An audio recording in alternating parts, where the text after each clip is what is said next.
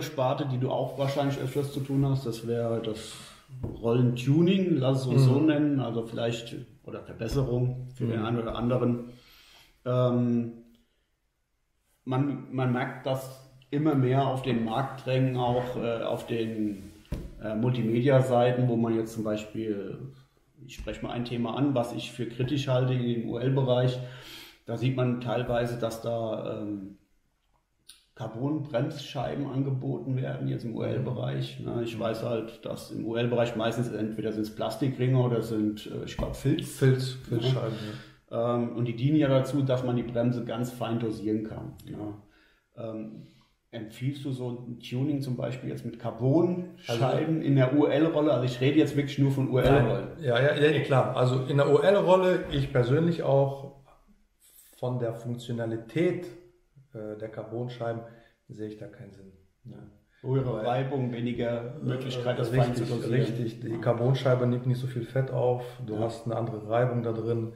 Ähm, und äh, du hast halt auf, in der OL-Rolle hast du nicht diese Belastung. In der Karpfenrolle, in der dicken eine Rolle, die du für Hechte nimmst. Und Wallerrollen. Oder Wallerrollen. Und, äh, also sprich, wo die, wo die Bremse wirklich wo über die lange Zeit belastet genau, du genau, ne? genau, und ich auch nicht so fein dosieren muss, weil ich auch wesentlich stärkere. Schnüre fische. Ja. Der Vorteil an den Carbonscheiben ist natürlich, ähm, zu ist zu, auf ist auf. So, ne? Du hast halt äh, nicht so viel Zwischenspiel. Ja. Ne? Klar, hast du also zu einem, zu einem gewissen Maß schon, aber bei den, bei den Füllscheiben kannst du es besser dosieren. Meine Meinung. Ja, natürlich. Es ist ja auch so. Auch Erfahrungswert. Ne? Ich habe beide schon mal gefischt und ja. äh, die Carbon-Sachen haben mir jetzt bei der bei einer OL-Rolle, ich, ich, ich hatte es selber bei einer 3000er-Rolle von Diver und da war für mich kein Mehrwert drin. Ne? Ja. Absolut nicht. Gut, es ist ja auch so, dass im OL-Bereich meistens mit offener Bremse gefischt wird ja. oder relativ offener genau, Bremse. Ne? Genau. Es geht ja darum, auch das Ausschnitzen des Hagens zu vermindern oder sonstiges, weil ne, unsere Forellen ja. haben nun mal einen etwas härteren Bereich im, ja. im Mundbereich. Und äh, da ist ja auch der Anlaufpunkt von, wenn eine hohe Reibung da ist, kann es schon mal vorkommen, wenn man mit dünnem Zeug, dass dann auch die Schnur reißt. Ne? Also das Fluorcarbon zumindest. Ja, auf jeden Fall. Klar. Aber wir beim Tuning schon sind. Mhm. Also du bietest ja auch Tuning an. Oder was heißt der Tuning? Also wenn jetzt jemand zu dir kommt und sagt, ich hätte jetzt gern ein anderes Schnurlaufröllchen eingebaut, mhm. wie ich das zum Beispiel war, mhm. oder ähm, möchte, ich weiß jetzt nicht, welche Tuning-Maßnahmen viele erfragen. Mehr Kugellager Mehr Kugel. in der Rolle, andere Kugellager in der Rolle. Also ähm, sprich, wenn man jetzt, es nennt sich ja ABEC, ne, da sind ja die Spezifikationen. Genau, also ABEC ist, ist ähm, die ISO-Norm, die jetzt aus Amerika kommt. In Deutschland heißt es ISO oder DIN. Okay. Ne? Und ähm, reden wir mal von ABEC, das sagt den Leuten einfach äh, mehr. Ne? Ist halt die Toleranzklasse des Kugellagers ja. und da gibt es verschiedene 3, 3, 5, 7, 9, 11 und so weiter. Und ähm, standardmäßig äh, sind die Kugellager in den äh, Angelrollen, die sind immer so zwischen APEC 3, APEC 5, das ist so der Standard. Ähm, ich selber verbaue im Austausch, wenn ich Kugellager austausche, immer mindestens APEC 5. Ja. Und ähm, weil auch qualitativere Kugellager, ja. ähm, wie der Hersteller das teils hat. Und ähm, man kann natürlich jetzt auch auf APEC 9 gehen. Ja. Ne? Da gibt es auch, also dann, dann, hast du eine höhere Toleranzklasse, du hast eine höhere Stabilität der Rolle, äh, des Kugellagers nicht der Rolle und ähm, auch einen sanfteren Lauf der Rolle. Du ja. kannst ähm, das hängt aber dann auch immer davon ab, welches Kugellager nimmst du. Ja. Also APEC ist nicht gleich äh, APEC. APEC, genau. APEC heißt nicht gleich, ich habe das beste Kugellager für diese, ja. für diese Rolle. Weil es gibt ja, gibt ja auch verschiedene Dichtmöglichkeiten von Kugellagern. Ja, nicht nur dicht. Also was, was viel wichtiger an einem Kugellager ist, ist, ist, ist, ist die Lagerluft. Ja. Ne? Also die Lagerluft zwischen, zwischen dem äh, oberen, dem unteren Ring und den Kugeln, weil das ist eigentlich ausschlaggebend für den Leichtlauf ja. des Kugellagers. Also ich habe mich mit den Kugellagern sehr und einschlägig beschäftigt und ähm, damit ich den Kunden halt sagen kann, pass auf, in der Rolle oder für, für, deinen, äh, für deinen Bereich, wo du die Rolle einsetzen willst, brauchst du kein APEC 9. Ja. Aber du bietest auch, oder du, du ich habe mit dir schon öfters gesprochen in der Vergangenheit, mhm. du bietest auch Hybridlager an. Genau, also Keramik-Hybrid gibt es auch. Ähm, die gibt es für Baitcaster, also da sind die mehr verbreitet, mhm. ähm, aber auch für die, für die Rollen, dann hast du halt den Anlauf des Kugellagers, also den, ja. der Leichtlauf und der Anlauf eines Keramik-Hybrid-Kugellagers verglichen zu einem Edelstahl-Kugellager ist halt enorm anders. Ja. Wie wäre das, wenn jetzt, wenn ich mir so ein Hybrid-Kugellager einbauen lasse oder mehrere, ich weiß jetzt nicht, ob das nur eins ist oder mhm. mehrere, würde das bedeuten, dass dann da der Wartungsintervall oder auch die Wartungspflege mehr wird? Weil ich sage jetzt mal, Keramik, würde ich jetzt sagen, es läuft eher mit Öl anstatt mit Fett? Ähm, in der Regel ja. ja. Also die Keramiklager sind selten gefettet, die sind mhm. meist geölt. Es gibt aber auch Varianten, die gefettet sind, sei es Edelstahl, sei es Keramik. Ähm, ich selber verwende Öl, mhm. also verschiedene Öle, je nachdem, äh, was für ein Kugellager ich habe. Und ähm, die Keramiklager, die sind, ähm, ich sag mal, die sind lauter, das ist klar aufgrund der äh, Keramikkugeln. Und die laufen vielleicht auch, ja, rauer nicht, aber es fühlt sich anders es an. Es fühlt sich anders an. Ja. Ne? Also das ist auch ein ganz wichtiges Thema. Ich habe auch schon Rollen gefischt mit äh, Keramiklagern. Ähm, ich persönlich habe es als für mich störend empfunden, weil einfach die Geräuschkulisse anders war. Ich habe immer so das Gefühl gehabt, da, da stimmt was nicht. Mhm. Ja. Ähm, aber ich denke, das ist einfach nur Gewöhnheitssache. Ne? Also man muss sich da wohl eher entscheiden, möchte ich ähm, den smoothen und softeren Lauf in dem Sinn, ne, dass die Rolle einfach viel, viel leichter sich kurbeln lässt, mhm. oder, oder möchte ich es einfach so angenehm wie möglich, dass es einfach Ruhe ist in der Rolle. Genau, genau.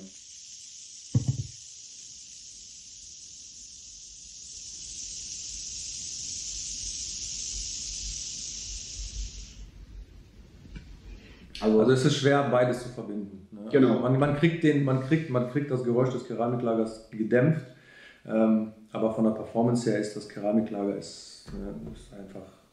Ja, warum ich das anspreche, ist einfach nur, es kommt bestimmt der eine oder andere und sagt, ich möchte unbedingt Keramiklager drin haben. Mhm. Ja, und äh, wer vorher sowas noch nicht gefischt hat, also ich sage das auch immer, auch in anderen Sachen bei, bei, bei Angel. Äh, Zubehör, bitte fischt den Kram vor. Ja, oder, oder haltet es in der Hand, kurbelt es. In dem Fall, wenn es eine Rolle ist, testet das und kauft wirklich nicht blind irgendwelche Sachen oder lasst nicht irgendwas umbauen, was ihr vorher selbst noch nie gefischt habt oder wenigstens noch nicht mal die Chance habt, das in, in den Händen zu halten.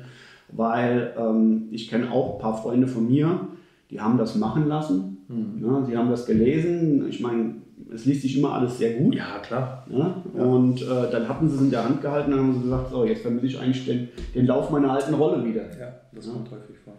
Und da können wir vielleicht auch zum nächsten Thema, was Tuning betrifft. Ähm, gerade bei Diver ist ja das Maxil drin. Mhm. Äh, ich denke, da kommt. Blöde Maxil. Ja.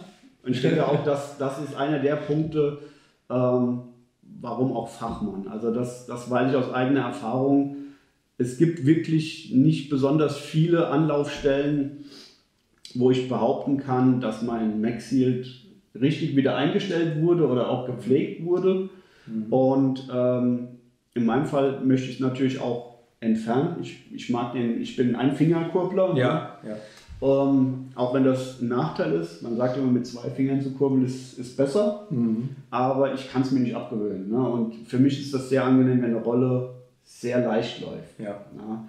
Und ähm, vielleicht kannst du dazu was sagen. Weiß ich jetzt nicht, ob man da was dazu sagen kann. Ja, klar, da kann man eine Menge zu sagen. Also das äh, Maxilt hat auf jeden Fall seine Berechtigung, so ist es nicht. Ja. Ähm, Im OL-Bereich muss man das so ein bisschen ja. abwägen, weil ähm, die meisten OL-Rollen, sei es jetzt eine Diver Steez, die ist komplett offen, die hat kein Mixhield. Das ist die UL-Rolle überhaupt. Genau.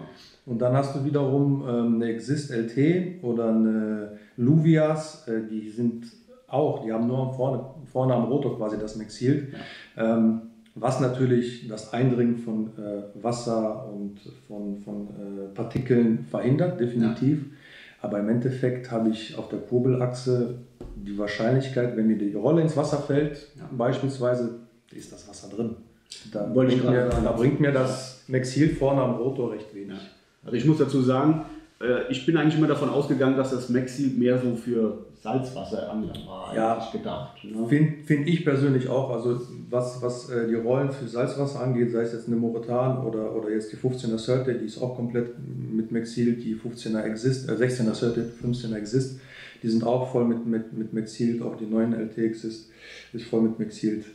In den 4000er Größen ja alles klar, das macht Sinn. Sag mal, wir, wir sind Süßwasserfischer, ja, ne? also ja. dass, dass da, wir haben keinen Wellengang, da spritzt nichts gegen das Boot oder wo auch genau. immer man steht. Ne? Ja. Also mit Spritzwasser kommt so eine Rolle. Ja, mit Spritzwasser kommt es im Regen auch oder so. Ne? Wir sind ja nicht immer alle schön Wetterangler. Ja. Ähm, so ein bisschen Regen und Süßwasser, das tut der Rolle recht wenig. Wenn man gelegentlich die Kugellage dann auch, auch mal nachölt mit passendem Öl und ähm, dann läuft das eigentlich. Das heißt auch, du kannst, sag ich mal, also ich rede jetzt nochmal von mir. Ja, klar. Ja, ich ja. habe jetzt in dem Fall, ich, darf, ich, hoffe, ich darf das sagen, mir iOS einbauen lassen, das mhm, Schnullaufröllchen. Genau. Das heißt, ähm, wenn ich den Wunsch dazu habe und ich möchte sowas haben, einfach bei dir melden, genau. mit welcher Rolle ich das gerne machen genau. würde. Und du würdest das dann auch, sage ich mal, besorgen für die Leute. Geht auch, ja, klar. Ja. Meistens ist es so, dass die Leute sich die Sachen selber bestellen, mir so ein Komplett zusammenschicken, bauen wir ein. Ähm, aber ich kann die Sachen natürlich auch selber besorgen und dann ja. einbauen. Sei es das D-System von Ice Factory, was halt häufig vorkommt, oder ja. das Schnullaufröllchen. Ne? Wir gehen das jetzt mal rüber nach Frankfurt zum Timo, weil der hat auch ein paar Fragen an den Andreas. Servus Markus, hallo Andreas, auch von mir nochmal schöne Grüße nach da oben zu euch, ähm, hier aus Frankfurt. Ich habe auch nochmal eine Frage an dich ganz speziell und zwar geht es um 1000er und 2000er UL-Rollen. Wir angeln ja viel mit UL. Ähm, da ist, stellt sich mir immer so die Frage, was ist, wenn ich mal eine Tausenderrolle mit einem 7 Gramm Köder gefischt habe? Wie ist da deine Meinung zu? Oder wenn ich mal einen relativ großen Fisch gedrillt habe mit so einer kleinen Rolle, wie verhält sich die Rolle dann? Was, was muss ich beachten? Oder ja, das sind einfach mal meine Fragen. Ich bin gespannt auf deine Antwort und schöne Grüße zurück. Ciao. Grüß dich, Timo, und schöne Grüße aus Erbitte. Im Großen und Ganzen wirst du mit 7 Gramm, 7 Gramm keine großen Probleme haben an einer Tausenderrolle. Wenn du in den Bereich von 10 bis 15 Gramm gehst und diese durchs Wasser ziehst oder 20 Gramm und immer weiter, ist es natürlich für die Rolle ein erheblicher Aufwand, ähm, dieses durchs Wasser zu bekommen, als dass es äh, die geringen Gewichte sind. Ähm, die Rollen sind ja immer so konzipiert für, die, für eine bestimmte Angelei. Äh, bei den Tausender-Rollen ist es halt der OL-Bereich, dann kommt der L-Bereich, sage ich mal. Und ähm, dann kommt schon das schwere äh, Fischen. Also ich würde einer, mit einer Tausender-Rolle nicht auf Hecht gehen, auf, also auf schwere Hechtangeln. Ähm, einfach aufgrund dessen, weil die Gewichte viel zu hoch sind für die Rolle und sie dafür nicht konzipiert ist. Ähm, das meiste wird natürlich durch die Bremse abgefedert, wenn du jetzt einen schweren Fisch drillst. Und ähm, somit hast du halt nie die volle Last auf der Rolle. Wenn du sie komplett zuknallst und nur über die Rolle den Fisch drillst, ähm, ist es natürlich für die Rolle ähm, ja, ein erheblich hoher Aufwand und auch äh, der Verschleiß in der Rolle nimmt dadurch natürlich zu. Ja, ich hoffe, das reicht dir als Antwort und äh, schöne Grüße zurück. Ciao. Ja, und ich denke mal auch ein interessantes Thema für viele von uns. Nicht jeder kauft sich immer nagelneue Rollen, sondern man kauft auch gerne mal was Gebrauchtes. Ja, es gibt ja in diversen äh, Foren oder sonstiges oder auch bei Facebook und Instagram der eine oder andere, der wieder mal eine gebrauchte Rolle verkauft. Wie ist das denn da, Andreas, wenn ich jetzt zum Beispiel mir die Rolle ja nicht anschauen kann? Ne? Also was, was würdest du empfehlen, auf was sollte ich vielleicht achten oder was sollte ich den Verkäufer fragen, was er für mich tun kann, damit ich einen Eindruck kriege, kann ich die kaufen oder ist die vielleicht schon hinüber oder zu sehr strapaziert? Also das Mindeste ist auf jeden Fall ein Video vom Lauf der Rolle. Ähm, ich habe auch schon häufiger bei ne, gebrauchte Rollen gekauft, eBay Kleinanzeigen oder wo auch immer. Und ähm, im Video auf jeden Fall äh, versuchen oder den Verkäufer darum bitten, dass er einen äh, relativ äh, geräuschlosen Raum aufsucht, ja. damit man sich wirklich einen Eindruck darauf, davon verschaffen kann, wie die Rolle dreht, wie sie sich anhört. Ähm, wenn er sie kurbelt, darauf achten, ob er mit ja, großem Aufwand die Rolle kurbeln muss, ob sie leicht äh, läuft. So, das sind so die, wichtigsten Dinge. Okay. Ja. Gibt es irgendwelche Anhaltspunkte, wo ich vielleicht mal schauen oder sage, weiß ich jetzt nicht, Rollenkopf oder sonstiges, wo ich vielleicht äh, erahnen könnte, dass vielleicht jetzt mal was verbogen war oder sonstiges? Gibt es irgendwo Schleifmöglichkeiten, wo ich jetzt sagen kann, wo ich sagen kann, okay, ich sehe jetzt hier was an der Rolle, das soll er mal abbauen, damit ich gucken kann? Ja, also einmal auf jeden Fall unter die Spule mal schauen. Okay. Also die Spule auch immer abnimmt und äh, dass man da einmal reinguckt, was da genau verbaut ist. Wobei für den Laien ist es schwer. Und dann ja, aber ich sag mal, es muss ja, es sollte an, also ich sag mal so, ich äh, habe auch schon eine Rolle gekauft, wo, wo mir gesagt wurde, ja, die wurde kaum gefischt. Ne? Mhm. Und im Endeffekt habe ich die Rolle dann später, weil ich nicht genau geschaut habe, bekommen und dann ist mir aufgefallen, naja, der Knopf, der ist so abgegriffen, die mhm. kann niemals kaum gefischt gewesen sein. Ja, ne? ja. Also es gibt immer so das sind so Ansatz an, oder Anhaltspunkte. Ne? Klar, natürlich kann es natürlich sein, dass er vorher einen anderen Knopf gefischt hat. Ja, natürlich. Gibt es immer, gibt's immer äh, äh, viele Möglichkeiten, aber das ist auf jeden Fall ein Anhaltspunkt dafür, dass die Rolle viel gekogelt hat. Der Verschleiß im, im, im, im Getriebe, wenn sie dann auch noch nicht oder gar nicht in der Wartung mal war, ja. mal neues frisches Fett bekommen ja. hat, ist die, die Wahrscheinlichkeit hoch, dass du halt ja. Probleme mit der Zeit bekommst. Also ich lasse mir auch gerne mal ein horizontales Bild, wenn die Rolle gehalten wird, vom Bügel zeigen, weil genau. das ist auch so einer der ganz großen Macken an Rollen, die gebraucht wurden, mhm. ähm, da sie mal irgendwo abgelegt wurden, wo es vielleicht nicht, ja, ob da Macken drin sind. Ja, oder dass der Bügel so vielleicht so viel zu weit nach unten zeigt, ne, dass, genau. der, der, dass, dass die Gradzahl nicht mehr stimmt oder genau, sonstiges. Genau, das sind so Anhaltspunkte dafür, dass das gut so, dann würde ich sagen, sind wir mit den Fragen soweit eigentlich durch. Jo. Dann gucken wir uns vielleicht mal deine Werkstatt an. Gerne, können wir machen. Gehen wir einmal runter. Ja.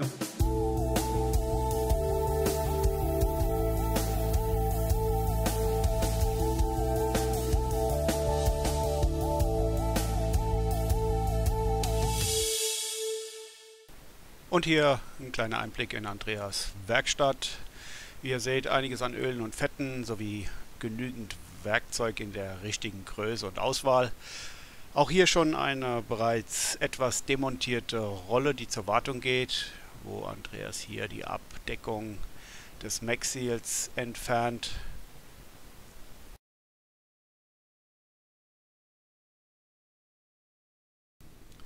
Ja, und hier seht ihr vom Maxil den Magneten und die Abdeckung, die er hier entfernt.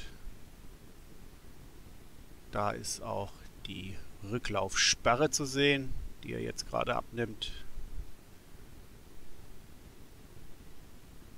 So, und hier seht ihr jetzt äh, die Reinigung eines Kugellagers, das hier in die Halterung, was rot ist, eingebaut wurde. Das wird hier mit Druckluft und Reiniger ausgespült. So werden alle Schmutzpartikel und restliche Fette, Öle entfernt. Ihr seht hier läuft noch der Reiniger aus und da wird der Lauf geprüft äh, und direkt eine Ölung, um dann auch, auch nochmal den Lauf zu kontrollieren. Und hier dann das Bad, was mit Ultraschall betrieben wird und einer speziellen Lösung. Ihr werdet gleich sehen, was sich da alles löst vom Getriebe. Ihr seht diese milchig weiße Färbung. Das sind alles Schmutzpartikel, Öle und Fette, die sich lösen und somit ist dann das Getriebe auch sauber. Hier seht ihr jetzt bereits gebrauchtes Getriebe und ein noch original verpacktes und nochmal eine Demontage einer weiteren Rolle. Hier seht ihr auch dann wieder das Zahnrad vom Getriebe, welches noch mit alten Fetten versehen ist. Dieses wird jetzt von Andreas leicht vorgereinigt und ihr seht auch hier bereits einiges an Schmutzpartikeln. Verfärbungen gelten jetzt nicht wirklich als Anzeichen von Alterung oder Verschleiß des Schmierstoffes, sondern das ist völligst normal. Und hier auch nochmal das Lösen von diversen Teilen. Ihr seht auch hier selbst wieder, wie viel Kleinteile und wie viele Teile hier in der Rolle vorhanden sein können. Also diesbezüglich lasst es bitte wirklich vom Fachmann machen. Das ist definitiv ein großer Vorteil. Und wie bereits erwähnt, nicht jedes Teil ist immer einfach zu entfernen. Hier bedarf es wirklich schon von Fingerfertigkeiten und wie bereits oftmals angesprochen, bitte nicht im Eigenversuch machen, sondern lasst hier wirklich den Fachmann ran. Und ihr seht selbst, hier ist die Rolle schon fast komplett zerlegt. Äh, es werden noch diverse Kleinteile, Federn entfernt Und da muss man definitiv schon wissen, was man tut. Ja, und so langsam kommen wir ans Ende unseres Videos. Wir hoffen, ihr hattet Spaß und es hat euch gefallen. Über sämtliche Kommentare freuen wir uns natürlich. Konstruktive Kritik ist stets willkommen. Lasst uns wissen, wie es euch gefallen hat und macht's gut. Bis demnächst.